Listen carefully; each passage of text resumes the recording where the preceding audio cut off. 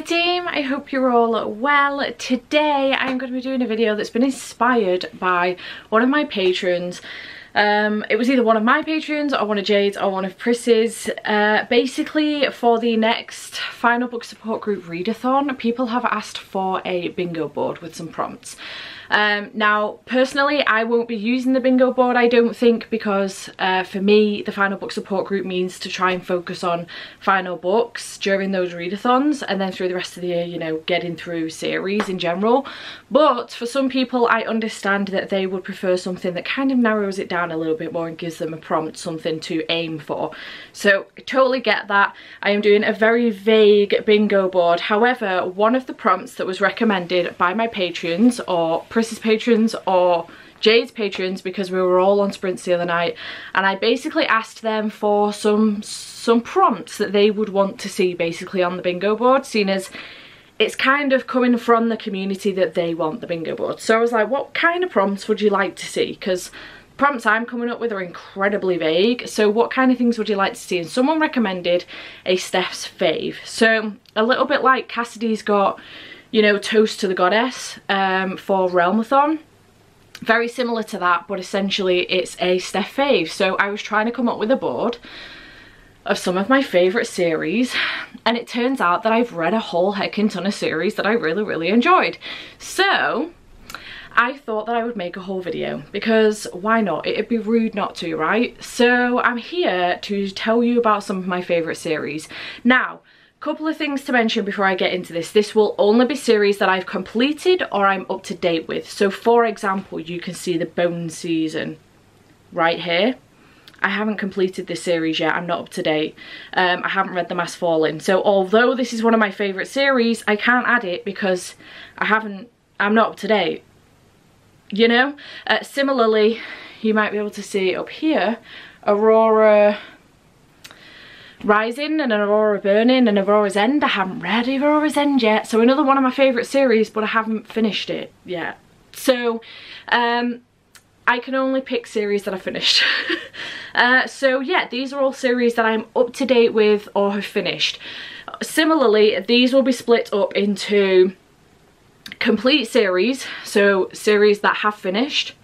They will be split up into series that are still ongoing, but obviously I'm up to date with. They'll be split up into graphic novels and they will be split up into companion novels as well because uh, one of the other prompts associates with that because I am a sucker for a companion novel series as well and I see that as a series. So we'll be doing a mix of all of them um, and we're going to start off with complete series because I'm holding one in my hands and it's relatively heavy. So let's get straight into it.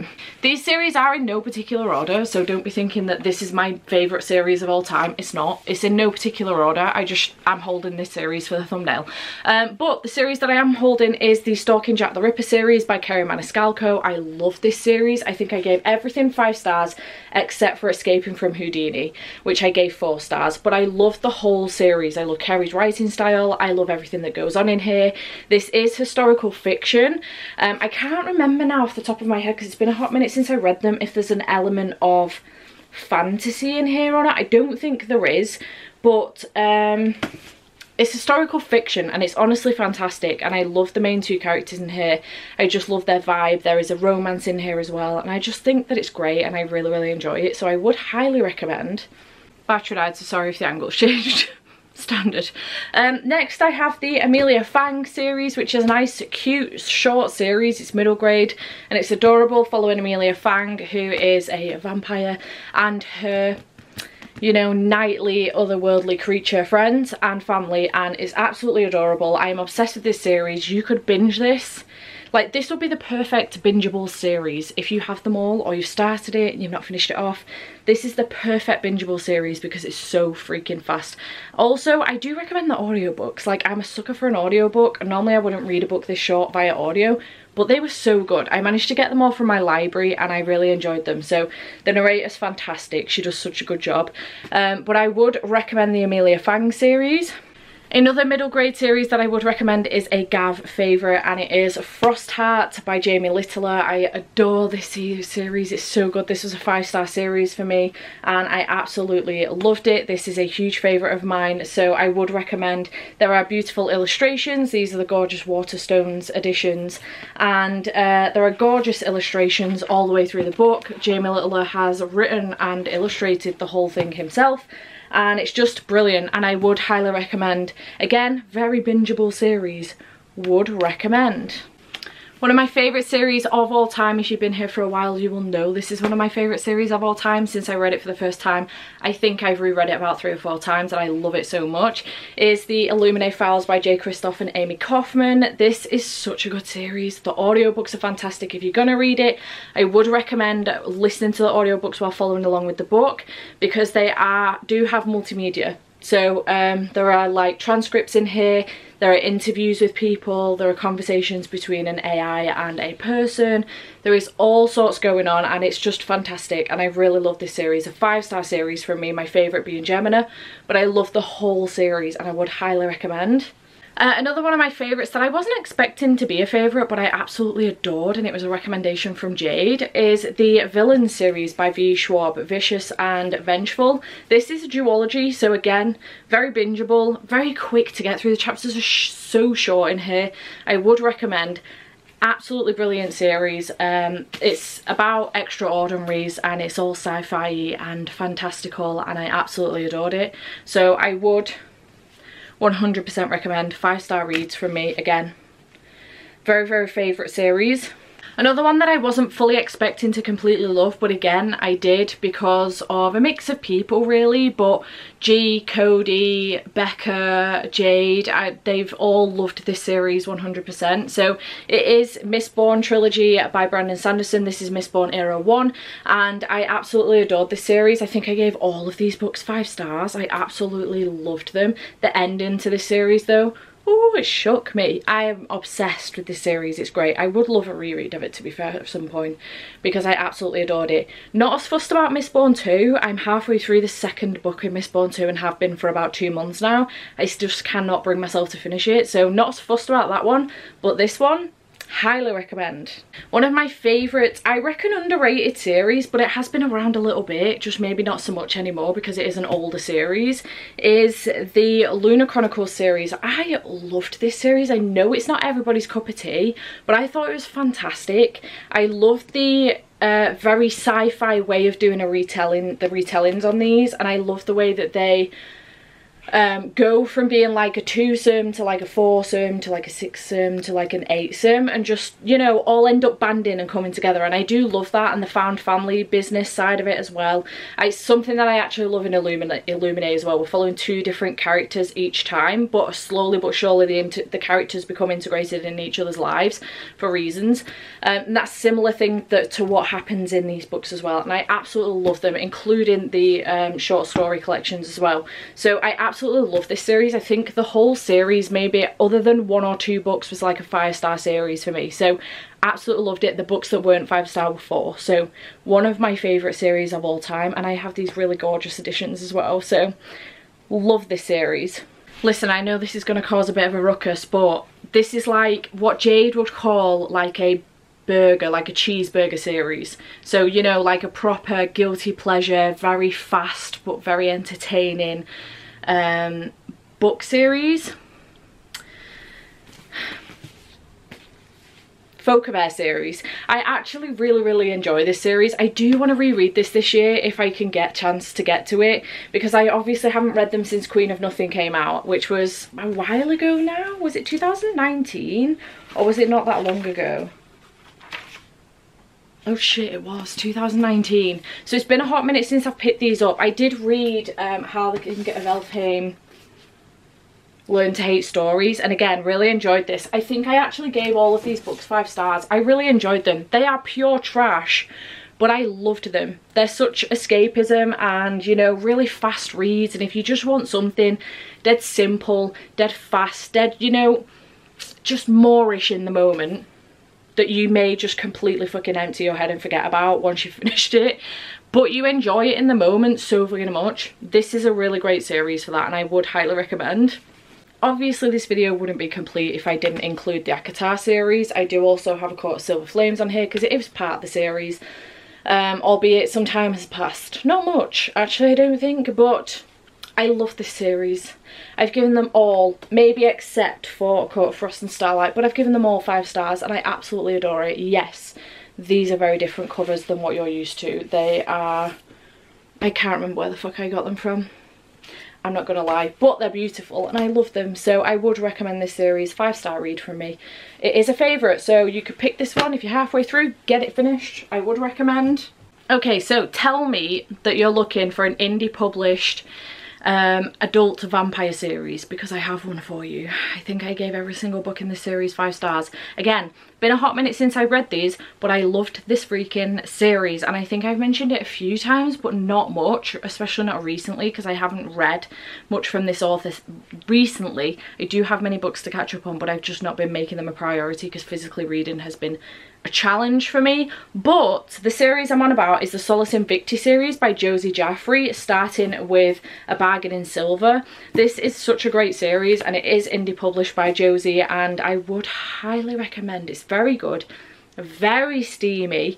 I loved the plot as well as the romance in here. It was great. The writing style is fantastic. I just really really loved it. Very british. I would highly recommend this series. It's very very good. I gave them all five stars. Next up is a trilogy that I don't currently have the first book for because I am getting the hardback off a wonderful, wonderful friend of mine uh, soon, but it's not yet arrived. But it is the Daevabad trilogy by S.A. Chakraborty. I didn't think, again, that I was going to like this, you know, political fantasy, bits of war in it. I just didn't think it would be up my street. Again, this was my pre political fantasy, war, etc. fantasy, fantasy, fantasy stage. Uh, it turns out I love political fantasy and war. So, who the fuck knew? Not me. Uh, but I love this series. It was fantastic. I adored it so much. It gave me so many Aladdin vibes. I just was obsessed. It was great and I really, really loved it and I would highly recommend it. Again, five star, reads from me. So one of my favourites, obviously it's on this list. Ah, speaking of political fantasy and war,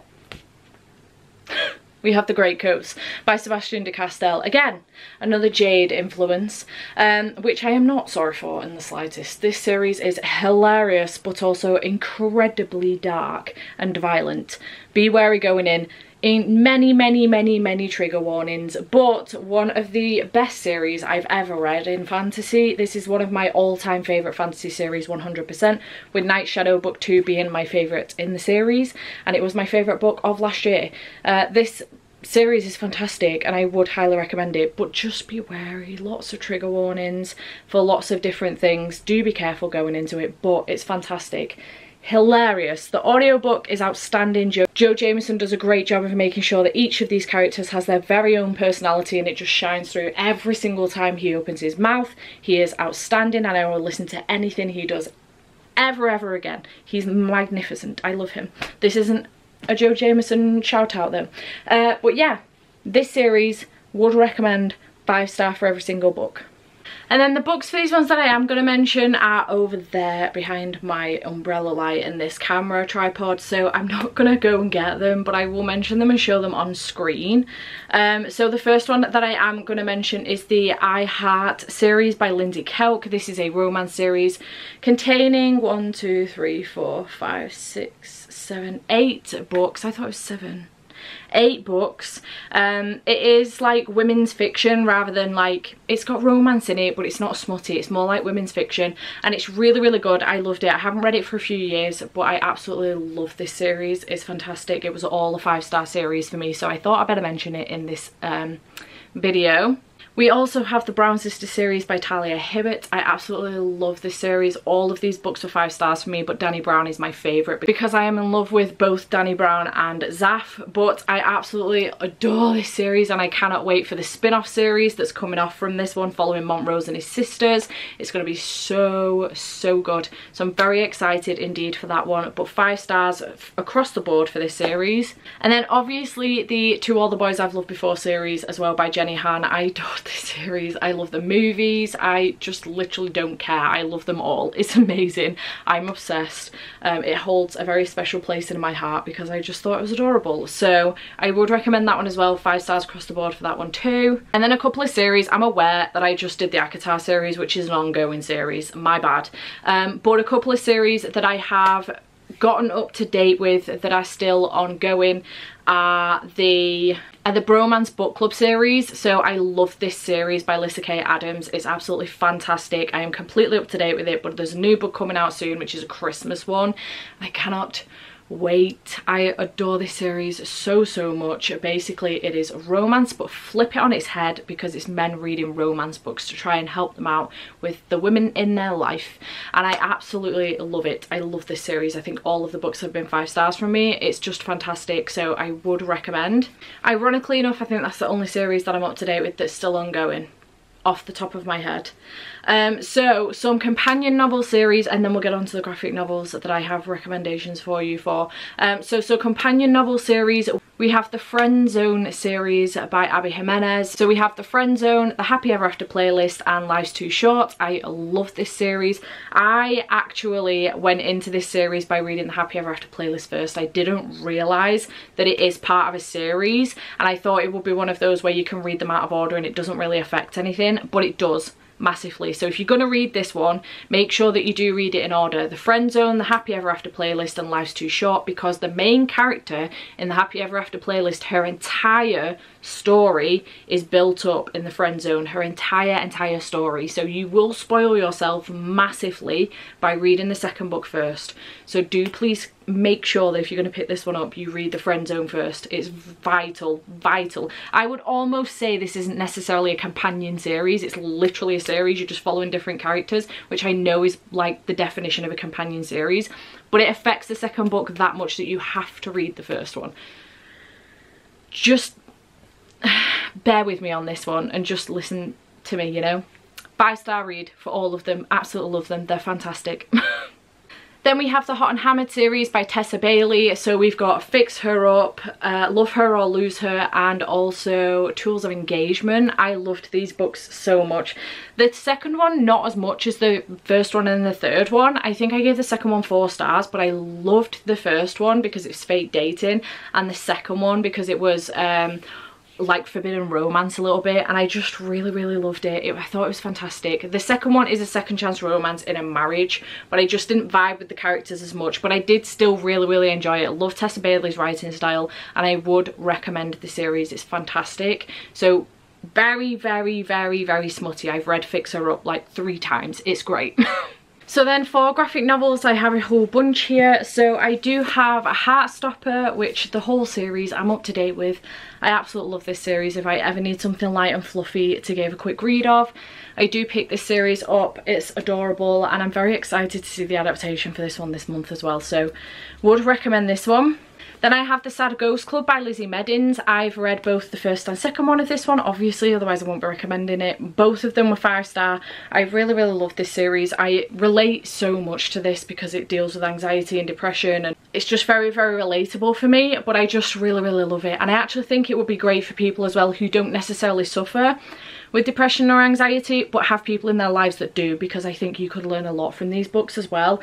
It might help you try and, you know, help your friends along or family along a little bit better as well and be um, you know more understanding of their situation a little bit more. I know it can be difficult for people who don't struggle with these things to try and help people along that do so um, I would recommend this one it's fantastic. Then I have the Tea Dragon Society by Kay O'Neill. I did read the Tea Dragon Tapestry was it during, I think it, I'm fairly certain it was during the last readathon for Final Book Support Group because I love this series. Um, it's absolutely adorable. I would highly recommend. It's just, the illustrations are gorgeous and it's so, so adorable. Um, so would recommend this one. Then if you wanted a little bit of horror in your life, I would recommend the Locke and Key series by Joe Hill and Gabriel Rodriguez. This is such a great series. I actually kind of want to reread it soon because I haven't read it for a while. It's probably been a couple years since I finished the series. But I basically binged the series. It was fantastic. Very creepy, very eerie. I haven't seen the TV show yet, but I really want to watch it but I really really enjoyed this one so I would recommend this one for those of you that love your horror or want to dip your toe into horror this is a great way of doing it it's not too horrific but it is a little bit creepy so would recommend and then for those of you that want to get into your sci-fi graphic novels, I do have Descender, but also Ascender as well. So read the Descender series first because Ascender follows on from this series just several years later. Um, but I really enjoyed both of these series. I think I gave all of the graphic novels in both of these series five or four stars and I would highly recommend both of them. I think Ascender is still ongoing at the moment but Descender has finished but I'm up to date with Ascender anyway so would highly recommend these two. And then for those of you that would like to combine your sci-fi with fantasy, I have Saga. Um, this is such a good series. Another one that I would really, really like to reread. I think I gave every single volume of this five stars. Currently up to volume nine. Yes, and impatiently waiting for volume 10. So, you know, Brian, if you could step on it, that would be great. Um, but I love this series incredibly adult, uh, relatively pornographic, literally like on the second page there are boobs and a woman giving birth. So I would highly recommend it though, it's fantastic, outstanding, loved it, amazing. Five stars. So I'm fairly certain that that's everything. Those like all of my, off the top of my head, I am looking at all of my shelves and this is where I'm up to. Because there are some series that I've still not finished that I would possibly put on here but I haven't finished them yet so I don't want to say they're my favourite because the last book could destroy it. For example, Arc of the Scythe series, I thought the Scythe I gave it four stars, I gave Thunderhead five stars, and then The Toll got two, and it destroyed the whole thing for me. So, you know, I don't like to say that a series is my favourite series unless I'm either up to date or I finished it so I don't want to recommend other series that I'm not quite up to date with just yet because the last book that I, in that series or the last book that's up to date could destroy the whole thing for me and I might never carry on with the series. It's happened before it'll happen again. So um, those are all of the books that are my favourites. So if you've come back to reference this video to get a Steph fave, I hope you find one in here. Um, or if not, I hope you find one that you're interested in, that you wouldn't mind picking up. So yeah, I hope that you have enjoyed this video. Let me know in the comments down below if you've read any of these or if I, this video has helped push you pick one of these up. Or if you're planning on doing the Steph fave prompt for um, fan book support group. Let me know which one you decide to go for because I'm really intrigued to see what you're picking up. And I shall see you in the next video. Bye for now.